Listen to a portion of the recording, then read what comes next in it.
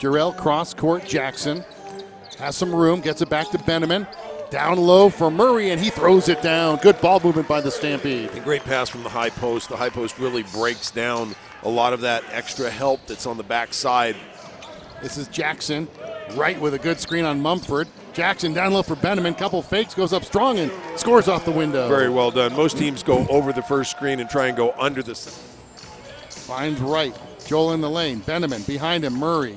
Shot clock at nine. Teray for three. Count it. Wow, that is something the Stampede have not had. The ability to move the ball eight, nine passes in the half court. Front iron, no. Benimon high for the offensive rebound. But there's Earl Barron, so he brings it out.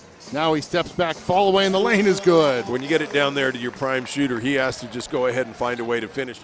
Double team by right. Ball knocked free. Here comes Gibson. Stampede run. Gibson.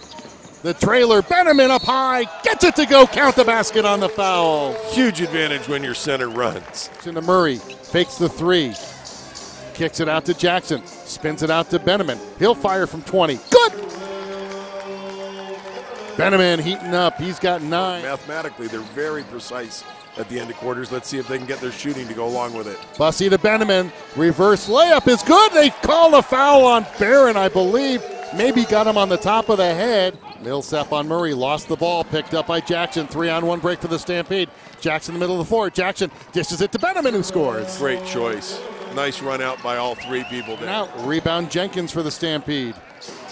They got the missed shot. Now, can they capitalize at the other end? Benimon behind everybody runs the floor and scores. Wow, 6 8 running the wing, really exploding Timeout. The play is outside Zimmerman for three, left it well long, but the rebound by Benimon goes with the left hand and scores. Great offensive rebound. Didn't know what was going to happen, but he did follow the ball to about the edge of the key, straight down like a tunnel. Same play for the Stampede. Benimon gives behind him to Jenkins, fires the three, and he gets that one to go. 12 for Jenkins.